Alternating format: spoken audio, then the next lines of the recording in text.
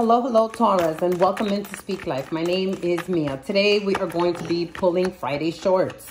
Please, universal energy, spirit guides, ancestors, please bring in two more messages. Ace of Cups, you're looking for love. You're looking for love. You've been in a place where love has not really been honored.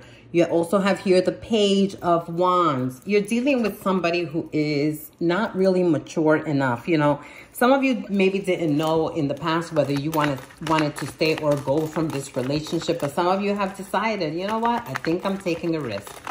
Um, let's see. It's a small, it's a small step, but you're, you want love in your life. Um, give me one more. One more for Taurus. Seven of Wands. Standing for something by yourself, okay? Um, let's see what we have here. Why is the Ace of Cups here? Ace of Cups for Taurus. Ace of Cups for Taurus. Please, Universal Energies. Wheel of Fortune. Wheel of Fortune.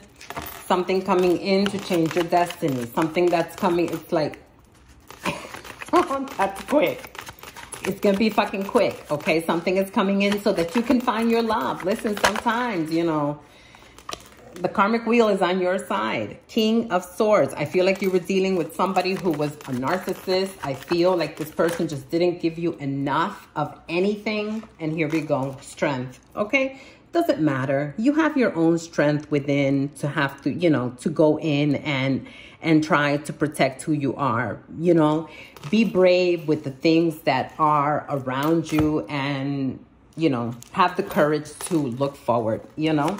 One more. There we go. Okay, beautiful. Six of Swords. Some of you are leaving this equation onto calmer water. You're moving on to a more peaceful place. Thank you so much for being here and take care.